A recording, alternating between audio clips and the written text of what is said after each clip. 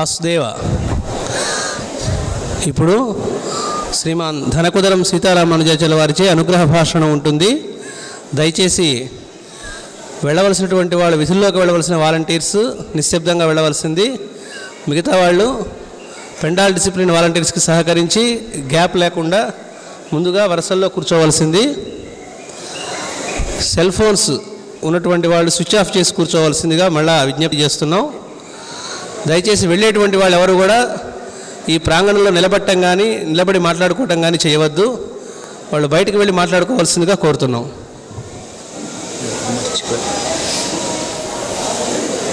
కృష్ణనీలం ధరింపజేసి ఒకళ్ళు కళ్ళజోడు మర్చిపోయారు. వాళ్ళు రిసెప్షన్ దగ్గరికి వెళ్ళి కలెక్ట్ చేసుకోవాల్సిందిగా కోరుతున్నాం.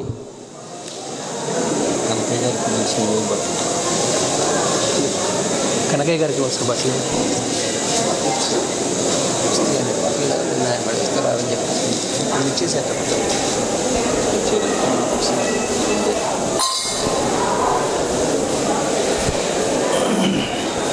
ఏడున్నర పర్యంతం. ప్రాంగణంలో వాసుదేవ ప్రాంగణంలో నిలబడి మాట్లాడుతున్నటువంటి వాళ్ళని పెండాల్ డిసిప్లిన్ వాలంటీర్స్ బయటికి పంపించవలసిందిగా కోరుతున్నాం. పెండాల్ డిసిప్లిన్ వాలంటీర్స్ మిగతా వాళ్ళని ముందుకు జరిగే వరుసల్లో కూర్చునేటట్లుగా చేయవలసింది. పెండాల్ డిసిప్లిన్ వాలంటీర్స్కి అందరూ సహకరించవలసిందిగా కోరుతున్నాం. వాసుదేవ. వాసుదేవ దయచేసి అందరూ నిశ్శబ్దంగా ఉండి వెళ్ళవలసినటువంటి వాళ్ళు వెళ్ళొచ్చు. ఉన్నటువంటి వాళ్ళు కూర్చోండి నిశ్శబ్దంగా ఉండవలసింది. వాసుదేవ.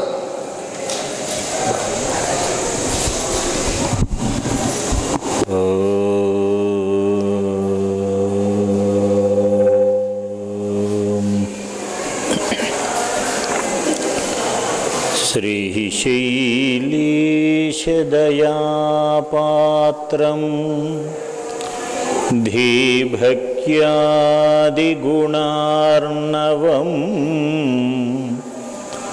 यतीन्द्रप्रवणं वन्दे दे मातरं मुनिं लक्ष्मी नासमारम्भां नाधयामुनमध्यमाम् अस्मदाचार्यपर्यं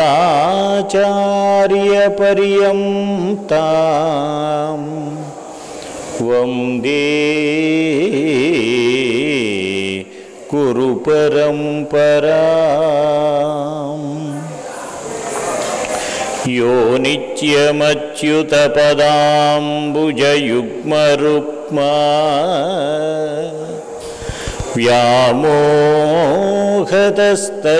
व्यामोहतस्तदितराणि तृणाय मेनि अस्मद्गुरोर्भगवतोऽस्य दयैकसिन्धोः रामानुजस्य चरणौ।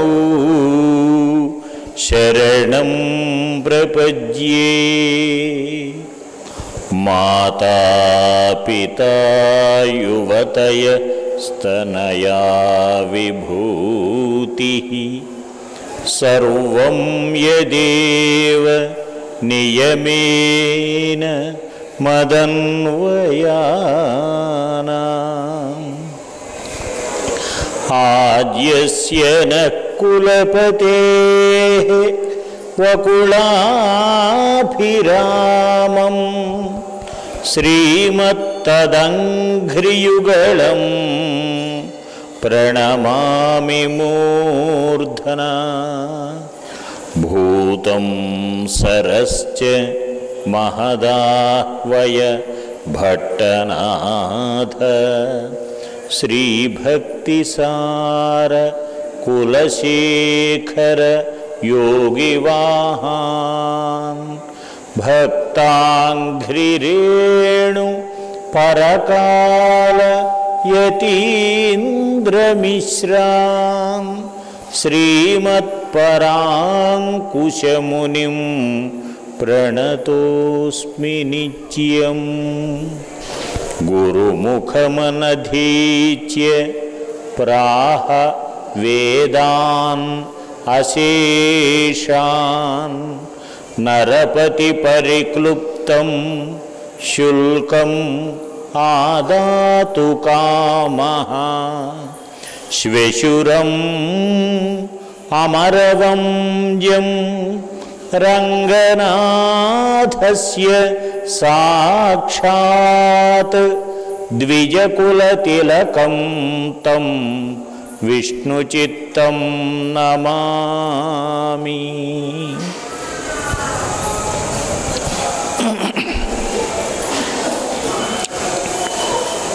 భగవద్భాగవత ఆచార్య సమావిష్టమైనటువంటి ఈ సభకు సాష్టాంగ దండవత్ ప్రణామం చేస్తూ సాక్షాత్తు సద్గురువర్యుల యొక్క సన్నిధిలో శ్రీకృష్ణ పరమాత్మ యొక్క సన్నిధిలో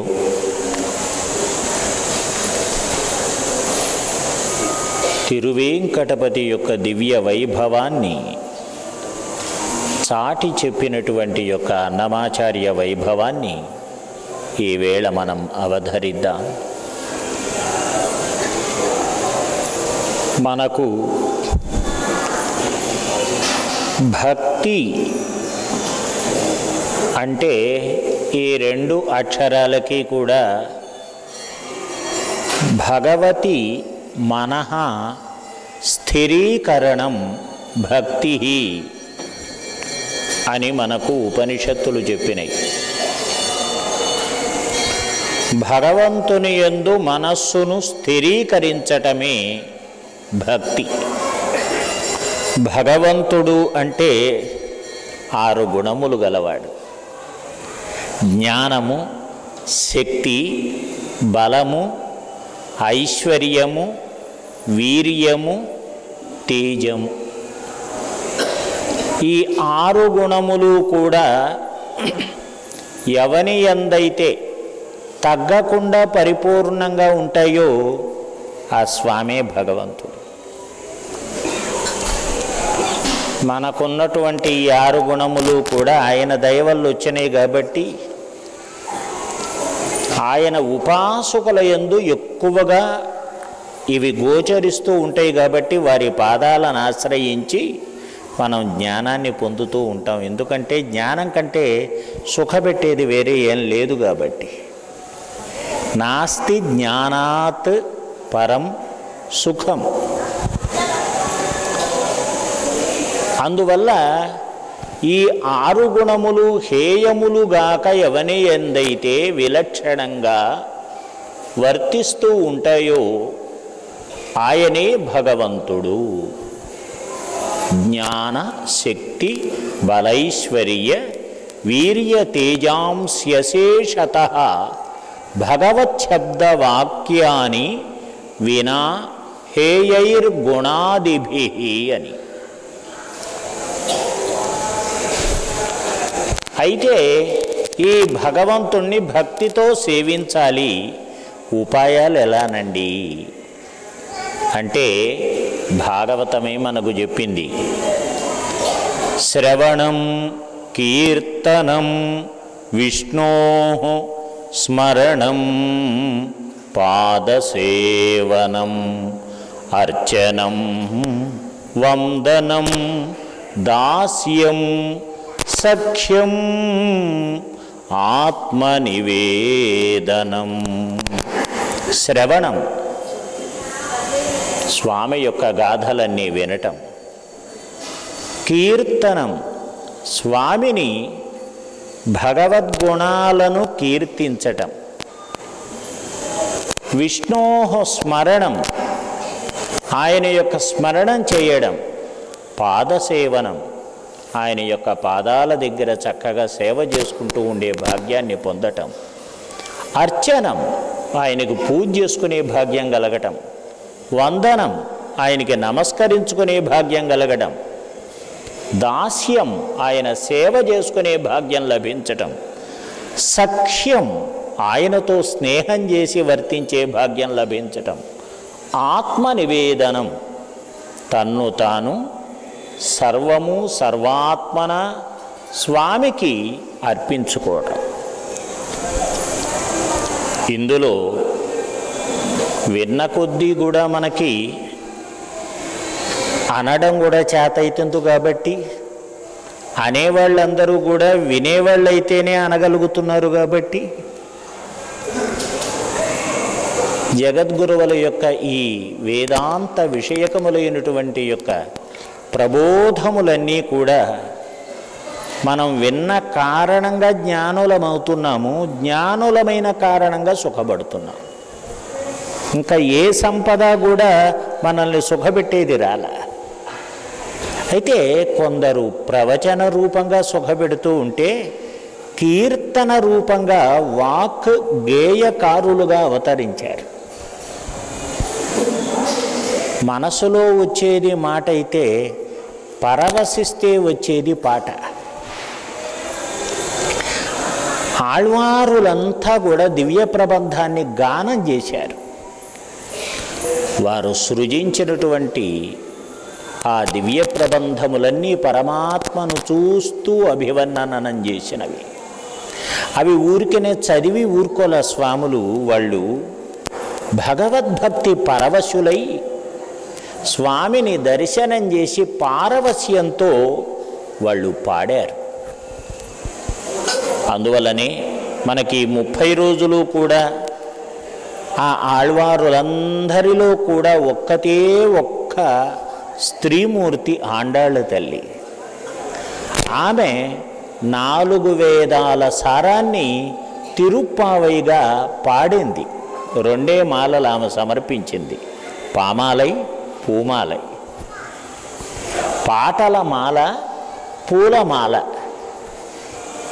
పూలమాల ఏర్చి కూర్చటం కూడా మంచి పూలన్నీ కూడా ఎలా అయితే ఏర్చి కూర్చి కడతామో మంచి మంచి స్వామికి సంబంధించిన గుణ సంకీర్తనానికి సంబంధించిన పదాలన్నీ కూడా ఏర్చి కూర్చి కట్టి ఆయన మెడలో వేసేస్తాం. ఆండాళ్ళ తల్లి నాలుగు వేదాల సారాన్ని అలా రంగనాథునకు సమర్పించి ఈ ముప్పై రోజుల్లో ఇవాళ కూడారై అనేటువంటి యొక్క పాశురాన్ని చక్కగా అనుగ్రహించి మనమంతా కూడా కలిసి మోచేత్తో అలా ఈ నెయ్యి దిగజారేటట్టుగా ప్రసాదం కలిపేసి అది భుజించేటట్టు చేసి. యతీంద్రుల వారు అందరికీ కూడా మోచేది గుండా అలా ముద్ద పట్టుకొని ఆ నెయ్యి దిగజారటం చూపించేవారు. చవి చూపించటం తర్వాత మోచేయి చూపించి నెయ్యి దిగజారడం చూపించి తర్వాత చవి చూపించేవారు ఆయన. అలా భగవద్గుణానుభవంలో ముంచెత్తినటువంటి యొక్క ఆ ఆళ్వారాదుల యొక్క పరంపరలో మన స్వామి కూడా అన్నమాచార్యుల వారు ఒక కారణ జన్ములు పలికిన పలుకల్ల వైష్ణవం తలచిన తలపెల్ల వైష్ణవం అలసిన సొలసిన కలసిన కలహించిన ఆ స్వామి తిరువేంకటపతి కోసమే ఆయన రాకులాడారు తప్ప ఒక్క పదం ఆయన యొక్క పాదాన్ని విడిచి మాట్లాడింది లేదు. ఒక్క పదం ఆయన కోసం తప్ప అడుగు వేరే పెట్టింది లేదు. అందుకనే ఆయన పద సంకీర్తనాచార్యుడైనారు.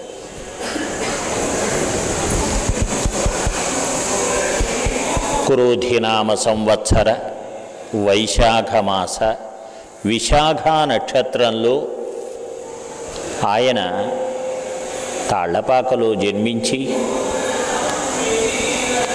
నారాయణయ్య లక్కమాంబ పుణ్య దంపతుల యొక్క గర్భశుక్తి ముక్తాఫలంగా జన్మించి పుట్టినదే తడవుగా తిరువేంకటపతి యొక్క ఆ వైభవాన్ని స్మరించుకుంటూ కూర్చునేవారు. ఏదైనా సరే ఏ నాటికైనా సరే తిరుమల వెళ్ళి స్వామిని సేవించాలి అనేటువంటి యొక్క ఒక కోరిక బాగా మనస్సులో రగులుతూ ఉండేది. మనం కూడా అంతే తిరుమల వెళదాం వెళదాం వెళదాం అనుకుని చాలాసార్లు అనుకుంటే కానీ ఆయన పిలుపొచ్చే రోజుకు మాత్రమే వెళ్ళగలం. అలానే చిన్నతనం పాపం అన్నా వదినల యొక్క అదుపాజ్ఞలలో ఉన్నాడు అన్నమయ్య. తిరుమల వెళ్ళడానికి ఎవరూ దొరకటం లేదు. అన్నావధుల యొక్క ఉపాజ్ఞలలో ఉన్నారు కాబట్టి కాస్తింత పొలానికి వెళ్ళునైనా అని పంపించారు వ్యవసాయం కాబట్టి ప్రధానం. ఆ వ్యవసాయం చేసుకునేటప్పుడు పాపం ఆయన వెళ్ళారు. గడ్డి కోస్తున్నారు. ఎక్కడి నుంచో దూరం నుంచి వినిపించిందండి భగవన్నామం వినిపించింది. అది తిరువేంకటపతి సన్నిధికి వెళ్ళేటువంటి యొక్క ఆ భక్తుల యొక్క సముదాయం. పసుపు వస్త్రాలు కట్టుకున్నారు. చక్కనైనటువంటి తిరునామాన్ని ధరించారు. చేతిలో చిడతలు పట్టుకున్నారు. స్వామిని ప్రార్థించుకుంటూ వస్తున్నారు. వేడుకొందామా వెంకటగిరి వెంకటేశ్వరుని వేడుకొందామా. ఆపద ముక్కుల వాడే ఆదిదేవుడే. ఆపద ముక్కుల వాడే ఆదిదేవుడే. వాడు తోమణి పల్యాల వాడే దురిత దూరుడి. దురిత దూరుడి. వేడుకొందామా?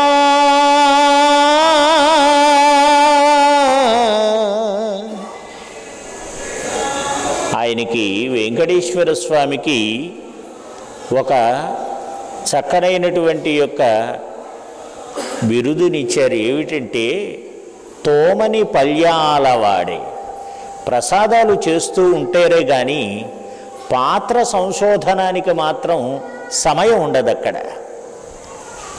నిర్విరామంగా చేస్తూనే ఉండాలి ప్రసాదాలు. దాన్ని దాంట్లో తోడుతూనే ఉండాలి. వచ్చేటువంటి లక్షలాది మంది భక్తులకు పెడుతూనే ఉండాలి. అది కూడా అన్నమాచార్యుల వారు ఒక ఘనంగా వర్ణించారు. తోమని పల్యాలవాడే దురిత దూరుడే. మళ్ళీ వెంటనే దురిత దూరుడే తలచుకుంటేనే పాపాలన్నీ కూడా దూరం చేసేవాడు.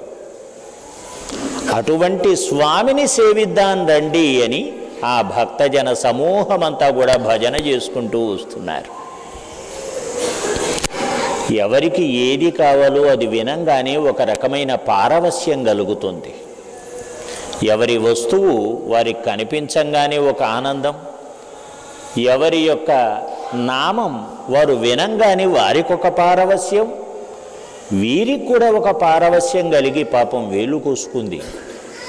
వెంటనే గుడ్డ దుట్టాడు ఆ కొడవలు అక్కడ పడేశాడు. వాళ్ళ దగ్గరికి వెళ్ళాడు. అయ్యా మీతో పాటు నేను కూడా వస్తానయ్యా తిరుమల అన్నాడు. నాయనా ఎక్కడికి వస్తావు ఇంట్లో ఏమన్నా అలిగి వచ్చావా? కాదండి మీతో పాటు అన్వయిస్తాను నేను కూడా. ఎన్నేళ్ళ బట్టు ఎన్నాళ్ళ బట్టు తిరుమల సేవించాలనుంది. కాబట్టి దయచేసి కాదనకుండా మీతో పాటు ఒకనిగా నేను వస్తాను. నన్ను అనుగ్రహించవలసింది అన్నాడు. వెంటనే వాళ్ళు రమ్మనమని చెప్పేసి అనుగ్రహించారు. వాళ్ళతో ఒకడై ఈ అనమాచార్యులు కూడా అలా తిరుమలగిరి సమీపానికి వెళ్ళారు. అల్లంత దూరంలో తిరుమలగిరి శిఖరులు శిఖరములు కనిపిస్తున్నాయి. ఆదిశేషుని యొక్క రూపంలో కనిపిస్తున్నాయి. అది శేషపర్వతం.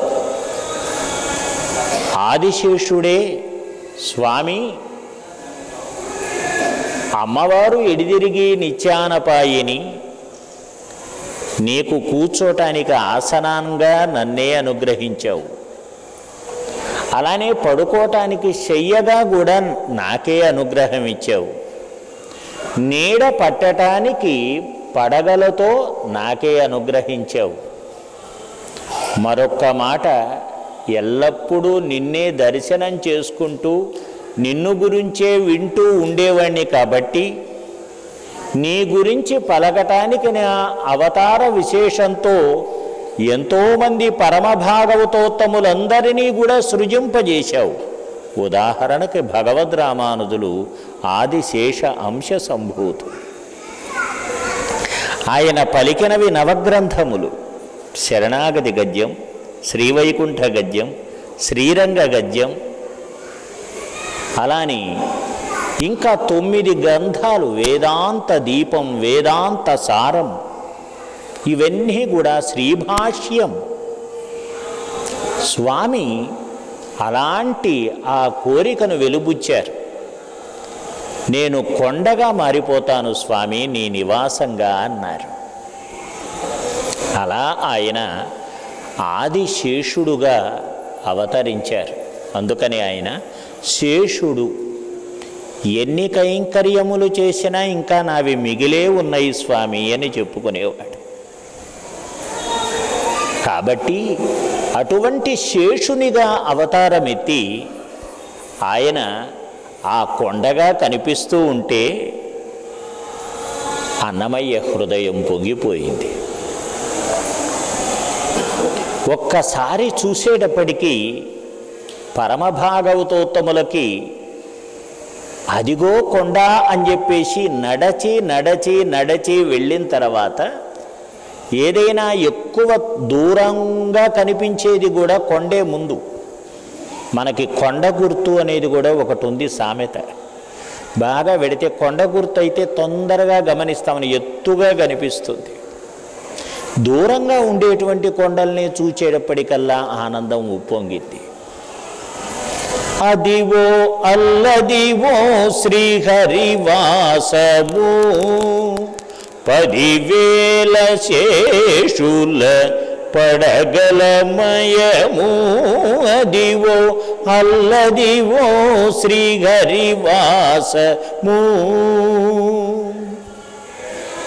అది వెంకటాచలమఖిలో నతము. హరి ఓ బ్రహ్మాదుల కపురూపము. అదిగో నిత్య నివాస మఖిలమునులకు.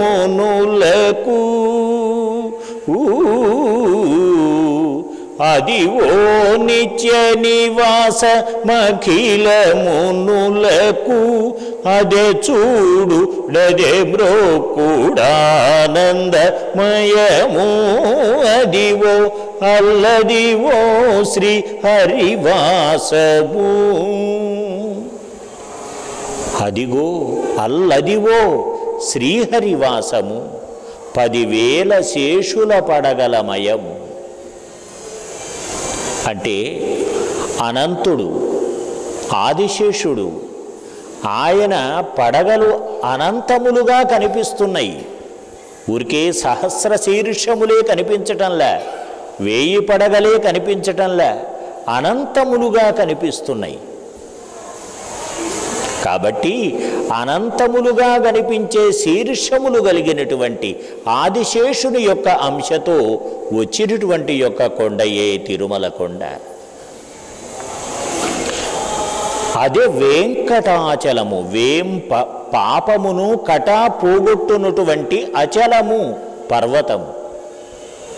పాపములన్నీ కూడా దూరం చేసేటువంటి యొక్క పర్వతం అదే వెంకటాచలము అఖిలోన్నతము. ఏదైనా ఎత్తుగా ఉన్నంత మాత్రానే పర్వతము యొక్క పరత్వాన్ని అభివర్ణనం చేయలేం కదా అందులో పరతత్వం ఉంటే కానీ ఎంత ఎత్తైందో తెలుస్తుంది. ఒట్టి కొండకు మనం ఎప్పుడూ వెళ్ళంగా. స్వామి నివసించే కొండకే కదా మనం వెళ్ళేది. అందులోనూ కృతేయుగే దేవరాజ త్రేతాయాం రంగనాయక ద్వాపరేతు జగన్నాథ కలౌ వెంకటనాయక. కృతయుగంలో దేవరాజస్వామి వారికి అంత బాగా ప్రసిద్ధి ఉండేది. త్రేతాయుగంలో శ్రీరంగ రంగనాయక స్వామి వారికి ఉండేది. ద్వాపర యుగంలో పూరి జగన్నాథ స్వామి వారికి ఉండేది. కలియుగంలో వెంకటేశ్వర స్వామి పరదైవతం కాబట్టి అటువంటి పరదైవతాన్ని ఏ కొండైతే భరిస్తోందో ధరించిందో అదే ఎత్తైనటువంటి యొక్క పర్వతం అనే అభివర్ణనం చేశాడు అన్నమయ్య. అది వెంకటాచలమఖిలోన్నతము.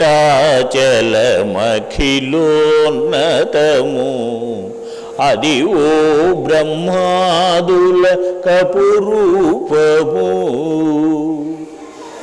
బ్రహ్మ మొదలైనటువంటి వారందరూ కూడా నిత్యము వచ్చి సుప్రభాత వేళ వాకిలి నిలబడి వాకిట నిలబడి స్వామి ఇదిగో నీకోసం సకల పుష్పతతులు కూడా నీకోసం తీసుకొచ్చానయ్యా. నీ సుప్రభాతానికి అని బ్రహ్మ మొదలైనటువంటి సురవరులందరూ కూడా వాకిలి ఎదుట నిలిచి సేవించేది నేటికి కూడా సేవించేది ఆ తిరుమలగిరి. బ్రహ్మాదయ సురవరా సమహర్షయస్తి సంతస్సనందనముఖా త్వధయోగివర్యా ధామాంతికే తవ హి మంగళవస్తు హస్తా శ్రీవేంకటాచలపతి తవ సుప్రభాతం. బ్రహ్మ మొదలైనటువంటి వారందరూ కూడా అదిగో చేతిలో వివిధములైనటువంటి పుష్పతతులన్నీ కూడా ఏరి పట్టుకొచ్చారని సుప్రభాతంలో మనకు సుస్ప సుస్పష్టంగా వినిపిస్తోంది. ఉత్సవములు కూడా బ్రహ్మ ప్రారంభం చేశారు కాబట్టి బ్రహ్మోత్సవములు అనే పేర స్వామి కొనసాగించుకుంటున్నారు. అలా అదిగో బ్రహ్మాదులకు అపురూపము తన నాభికమలం నుంచే సృజింపజేశాడు స్వామి. అధ పురుషోహవై నారాయణో ప్రజాసృజేయేతి నారాయణాత్ బ్రహ్మా జాయతే నారాయణాత్ రుద్రో జాయతే నారాయణాత్ ఇంద్రో జాయతి నారాయణాత్ ప్రజాపతయ ప్రజాయంతి నారాయణే ప్రలీయంతి యథా ఊర్ణనాభి. శ్రీమన్నారాయణమూర్తి నుంచే ఈ సకలమైనటువంటి దేవతలు కానీ సృష్టి కానీ అంతా జరుగుతోంది. తనలోనే మళ్ళీ లీనమవుతోంది. ఎలా అంటే యథా ఊర్ణనాభి సాలెపురుగు ఒక చక్కనైనటువంటి రీతిలో దారాన్ని ఉత్పాదనం చేస్తుంది. మళ్ళీ అదే మింగేస్తుంది. కాబట్టి అటువంటి యొక్క ఆ సృష్టి చేసేటువంటి స్వామి బ్రహ్మను సృష్టి చేసిన ఆ బ్రహ్మ కూడా అపురూపంగా స్వామిని భావించి స్వామి దగ్గరికి వస్తున్నారు. అదివో నిత్య నివాసమఖిల మునులపు మునులంటే సామాన్యమా? మౌనంగా స్వామిని మనస్సులో స్మరించి ఒక విధమైనటువంటి యొక్క మహిమాతిశయాన్ని సాధించి అందరికీ కూడా లోక కళ్యాణం కోసం తపస్సు చేసుకునేటువంటి వారు స్వామి నామం తప్ప మరొక్కటి పలుకుతామేమోనని మౌనంగా ఉండే దీక్ష వహించేవారు కాబట్టి మునులు. విశ్వామిత్ర పరాచరాది మునులందరూ కూడా రోజూ వచ్చేసి స్వామిని సేవించుకుంటున్నారు. అఖిల మునులు కూడా అక్కడ ఉండేటువంటి తిరుమల గిరులలో ఉండేటువంటి యొక్క గుహలలో దాగి వెంకటేశ్వరుని యొక్క జపాన్ని నిరంతరంగా చేసుకుంటూ ఉన్నారు.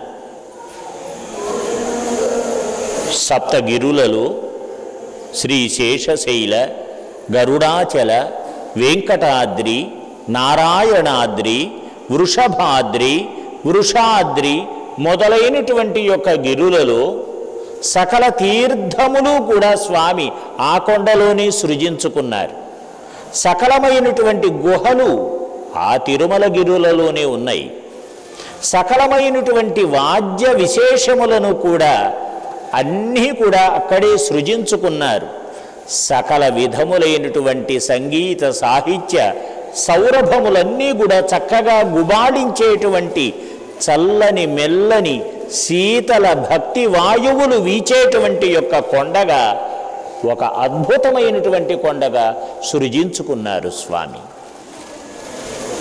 కాబట్టి అటువంటి గిరుల మీద మునులందరూ కూడా ఇదిగో ఇక్కడ వేంచేసి ఉన్నారు. అదిగో నిత్య నివాసమఖిల మునులకు అదే చూడు అదే మ్రోక్కుడు ఆనందమయము. కొండను చూస్తాం కానీ కొండలో రహస్యాలు ఇన్ని చూడగలమండి అన్నమయ్య చెప్పకపోతే.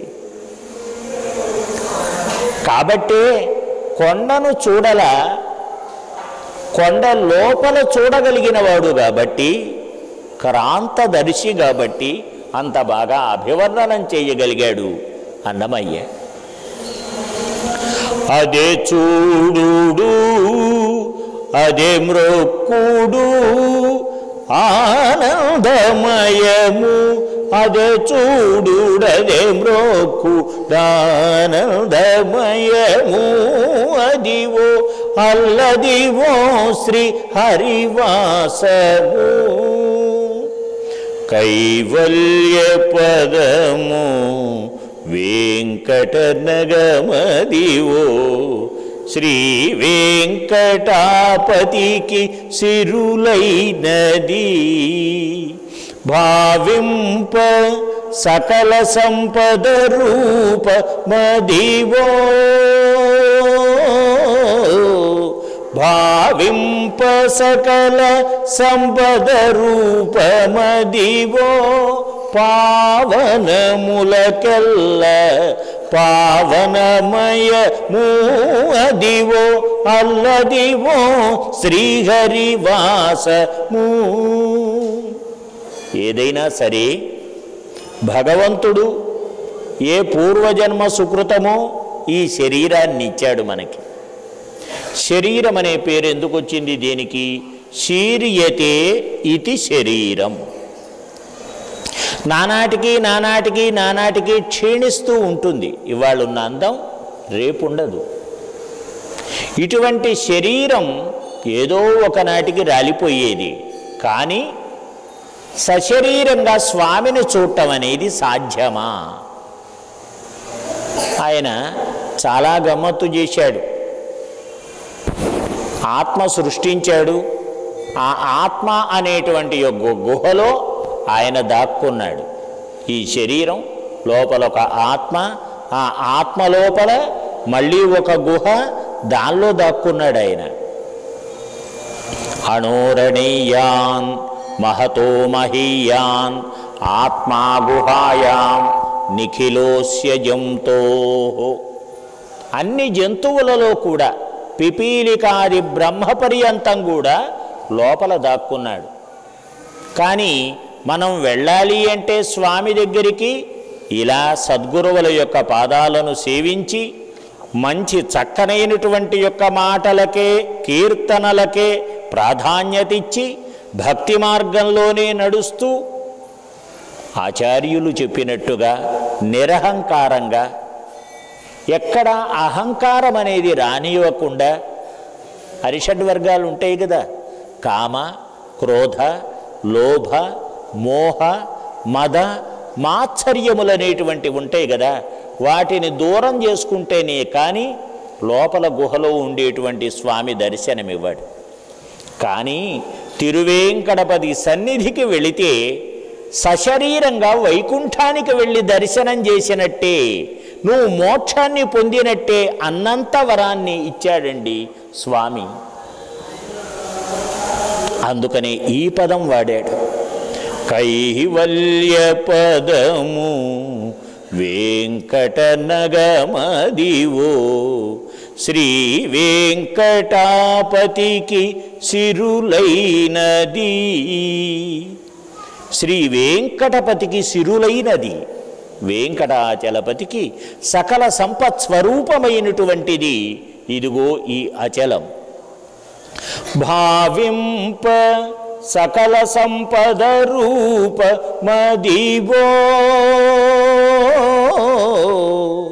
భావింపన్ ఆలోచింపగా సకల సంపద రూపమదివో సకల సంపత్ స్వరూపమంటే అదిగో ఆ స్వామి యొక్క కొండేనయ్యా.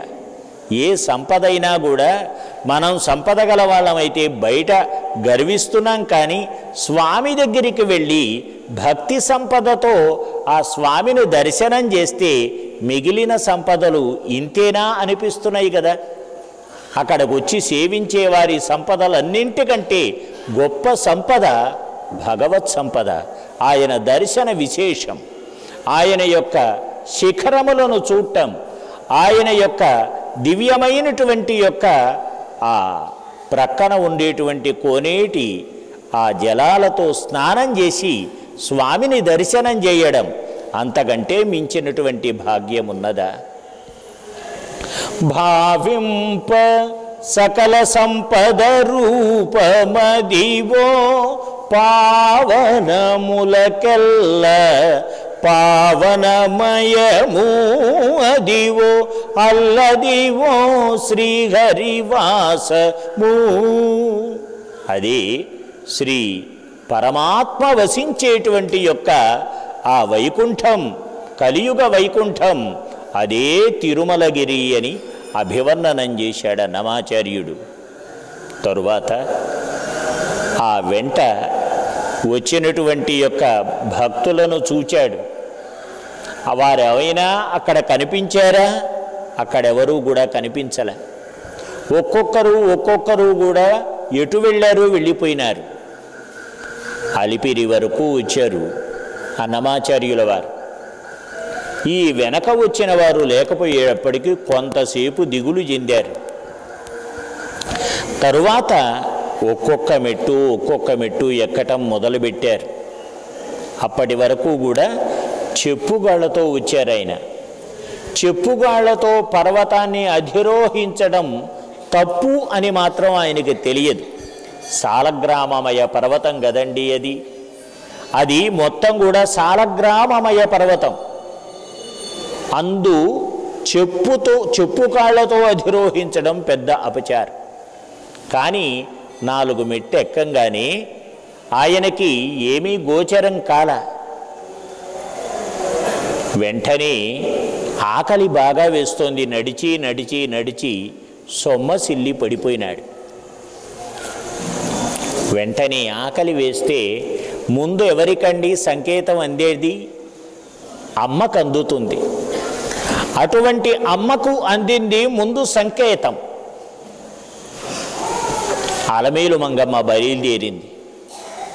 అలమేలు మంగాపురాన్ని నుంచి బయలుదేరింది. నా బిడ్డకి ఆకలి వేస్తోంది అని. అక్కడి నుంచి తనకు ఆ రోజు బంగారు పాత్రలో ఆరగింపు చేసినటువంటి యొక్క వివిధ భక్ష్యములను అన్న ప్రసాదములను తీసుకున్నది. తీసుకుని బయలుదేరి వచ్చి జగజ్జనని స్వహస్తంతో తన బిడ్డ నోట ఒక్కొక్క పదార్థాన్ని అందిస్తూ చక్కగా తీయగా నోటికి అందించిందండి. అమ్మ పెట్టినటువంటి ముద్దలో ఉండేటువంటి సౌభాగ్యం వేరు కదా రుచి వేరు కదా అందుకని అమ్మ కొద్ది కొద్దిగా కొద్ది కొద్దిగా అందిస్తోంది అన్నమయ్య నోటికి. తింటున్నాడు ఆయన హాయిగా. అన్నీ తిన్న తర్వాత అమ్మా స్వామి కనిపించడేమిటమ్మా? అని అడిగాడు.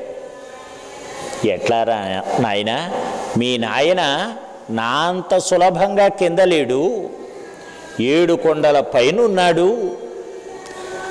ఆ స్వామిని అందుకోవాలంటే కొంత నియమనిష్టలు ఉండాలిరా అమ్మని కదా నా దగ్గరికి ఎలా వచ్చి బయట కాస్త కాళ్ళు కొడుకుని వచ్చినా నేను దర్శనం బాగానే ఇస్తాను.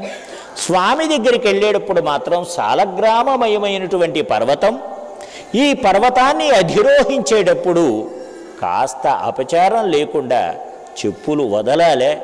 స్వామిని ఓం నమో వెంకటేశాయ అనుకుంటూ ఒక్కొక్క మెట్టు ఒక్కొక్క మెట్టు ఎక్కాలి అని చెప్పేసి అమ్మ ఉపదేశం చేసింది. అమ్- నాయన వీరు అని చూపించే బాధ్యత అమ్మదే కదా. అలానే ఆకలి వేసినప్పుడు అన్నప్రసాదాన్ని అందించే బాధ్యత అమ్మది ఎలానో నాన్నని చూపించే బాధ్యత కూడా అమ్మదే. ఏమేం పెట్టిందో అప్పటికప్పుడు అన్నమయ్య శతక రూపంలో చెప్పాడండి. అరిసెలు నూనె బూరియలు నౌగులు చక్కెర మండగల్ వడల్ పురుడలు పాలమండెగలు అపూపములై ఎలబేలు మంగ నీ కరుదుగ విందువెట్టు పరమాన్న శతంబుల సూపకోట్లతో నిరత వినిర్మలాన్నముల నేతుల సోనల వెంకటేశ్వర. ఎక్కడైనా వెంకటేశ్వర స్వామి ముద్ర లేందే మాత్రం ఆయన ఏ రచన చెయ్యలేదు అరిసెలు తీసుకొచ్చి నోటికి అందించిందట. నూనెలో వేయించినటువంటి యొక్క బూరెలు ఆ రోజున అరగింపు పెట్టారు. అది కూడా అందించింది నోటికి. అలానే పాలలో నానవేసినటువంటి పాల తాళికలు జిలేబీ పులిహోర చక్ర పొంగలి ఇవన్నీ కూడా అందిస్తే ఒక్కటి వదలకుండా బిడ్డ కోసం తీసుకొచ్చింది తల్లి. తీసుకొచ్చి ఒక్కొక్కటి ఒక్కొక్కటి ఒక్కొక్కటి నోటికి అందిస్తూ ఎలా ఉంది నాయన రుచి అని అడుగుతూ కొసరి కొసరి పెడుతూ స్వామిని గురించిన విషయాలు చెప్తూ అన్నం పెట్టేటప్పుడు కూడా స్వామిని గురించే చెప్పాలి. ఊయలు లూపుతున్నా స్వామిని గురించే చెబుతూ ఊయలు లూపాలి. విద్య ప్రారంభం చేసినా విద్య చెబుతున్నా విద్య యొక్క చివరిలో కూడా ఏ పని చేసినా స్వామి యొక్క నామస్మరణంతోనే చేయాలి. అమ్మ అదే నేర్పుతుంది మనకి. కాబట్టి అటువంటి స్వామి నామస్మరణంతోనే అంతా కూడా పెట్టింది. ఎంత అదృష్టవంతుడమ్మా అన్నాడు. యోగ్యత నాకు ఉన్నదా తల్లి? లేదే. యోగ్యత లేని కష్టుడను అయోగ్యుడను అన్నిటకన్న గర్భ నిర్భాగ్యుడను నీ కృపామతికి ప్రాప్తుడనో అలమేలుమంగ. నా భాగ్యము నీ కృపాగరిమ ప్రాప్యము కావుమటంచు సారే నీ భాగ్యవతి శిరోమణిని ప్రస్తుతి చేసెద వెంకటేశ్వర యోగ్యత లేని కష్టుడనమ్మా. నాకు ఏ యోగ్యత లేదమ్మా. అమ్మా అన్నిట కన్న గర్భ నిర్భాగ్యుడను కానీ ఒక్కటమ్మా ఏ అదృష్టం చేసుకున్నానో నీ కృపామతికి ప్రాప్తుడను. నీ యొక్క దయా అనేటువంటి బుద్ధి నా మీద ప్రసరించింది అంటే నాది నిజంగా సుకృతమే తల్లి. అలమేలు మంగ నా భాగ్యం కలిసింది నీ కృపాగరిమ కలిసింది. ఇది ఒక జన్మకి కాదమ్మా జన్మ జన్మలకు కూడా నాకు అందజేయాలి తల్లి. అలమేలు మంగ అని ప్రార్థన చేశాడు. ఇలా నూట ఐదు పద్యాలతో శతకాన్ని అనుగ్రహించాడు అన్నమాచార్యుడు. చివరికి చెప్తాడు అమ్మకు తాళ్ళపాక ఘనుడన్నడు పద్యశతంబు సెప్పే కోకొమ్మని వాక్ప్రసూనముల కూరిమితో అలమేలు మంగకున్ నెమ్మది నీవు చేకుని అనేక యుగంబులు బ్రహ్మకల్పముల్ సమ్మదమంది వర్ధిలుము జవ్వని లీలల వెంకటేశ్వర. అమ్మకు అందరూ కూడా మంచి మంచి పూలు తీసుకొచ్చేసి అష్టోత్తరం చేస్తున్నారు సహస్రం చేస్తున్నారు. కానీ ఈ తాళ్ళపాక అన్నమాచార్యుడు మాత్రం వాక్కులు అనేటువంటి యొక్క ప్రసూనములతో అర్చన చేశాడు. దయచేసి గ్రహించు తల్లి కూరిమితో ఇచ్చాడమ్మా ఈ అన్నమయ్య. నెమ్మది. అమ్మగారు విన్నపం శ్రీపతిలో కూడా నీవు చేకుని అనేక యుగంబులు బ్రహ్మకల్పముల్ సమ్మదమంది వర్ధిలుము. జవ్వని లీలల వెంకటేశ్వర. కాబట్టి అటువంటి యవ్వన నిత్య యవ్వన సౌందర్య సహితమైనటువంటి యొక్క విలాస రూప రేఖా విలాసములు కలిగినటువంటి వాడివి. భగవద్ రామానుజులు అంటారు. సౌందర్య సౌగంధ్య సౌకుమార్య లావణ్య యౌవనాజ్యనం తగుణనిధి దివ్య రూప స్వాభావికానవధికాతిశయ జ్ఞాన బల ఐశ్వర్య వీర్య తేజాంసి అశేష సంభూత. కాబట్టి అటువంటి స్వామివి ఎల్లప్పుడూ మాకు కటాక్ష చూపవలసింది అని అమ్మనలా పద్య కుసుమాలతో అర్చన చేసిన తర్వాత కనపడవలసినవి కనిపించినాయి. దివ్య శ్రీపాదాలు దర్శనమిచ్చినాయి ఆ దివ్య శ్రీపాదములు సామాన్యమైనవి కావు. ఎంతటి దివ్య శ్రీపాదములో ఆండాళ్ళు తల్లి ఎలా అభివర్ణించిందో అలానే నమ్మాళ్ళు వారు ఎలా అభివర్ణనం చేశారు దివ్య ప్రబంధాల్లో అలానే మహానుభావులైనటువంటి కారణజన్ములు ఎలా చేశారు? ఆ పాదాలు అలానే గుర్తుకొచ్చినాయండి అన్నమాచార్యుల వారి కూడా. పాశురాల్లో ముప్పై పాశురాల్లో మూడు చోట్ల అభివర్ణనం చేస్తుంది. ఓంగె ఉలగళంద ఉత్తమన్ పేర్పాడి నాంగళ్ళం బావయక్కచ్చాత్తి నీరాడినాల్. స్వామి ఒక పాదంతో భూమినంతా ఒక పాదంతో ఆ సత్యలోకమంతా ఒక పాదంతో పాతాళమంతా గొలిచినటువంటి త్రివిక్రమావతారమే నీది.